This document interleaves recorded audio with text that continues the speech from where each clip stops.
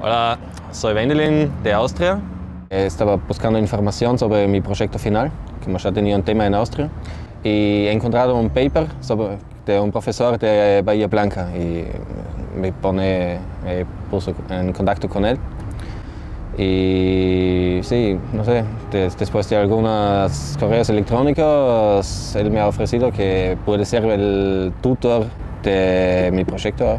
Desde el primer minuto en Argentina me sentí como en casa. Acá en la universidad estaba todo, todo re bien, como todos est- intentaron de ayudarme, de darme todos los ayudos que necesité, de sí, todas las informaciones y la gente está muy, muy amable conmigo.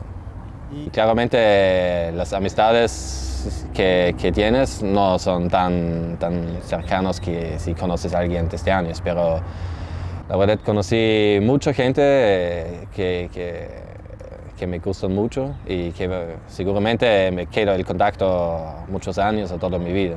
Bueno, si quieren, les muestro un poquito la furgoneta. Como, bueno, actualmente estoy viviendo en la furgoneta y voy a viajar como algunos meses más a- ahí dentro.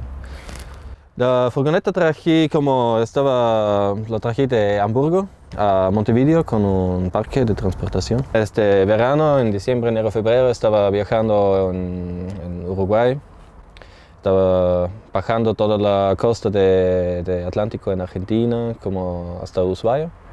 Y ahí estaba cruzando hasta, como en Chile, hasta Torres del Paine y subí de nuevo a la Ruta 40 hasta como Bariloche. Hasta de algunas ruedas pinchadas en la Ruta 40, en lugares lejos de todo, no me pasó nada, pero como viajar como solo de viajar en- con personas que no co- conoces bien, puedo recomendar a cada persona porque es un- una forma de, también de conocer a su mismo.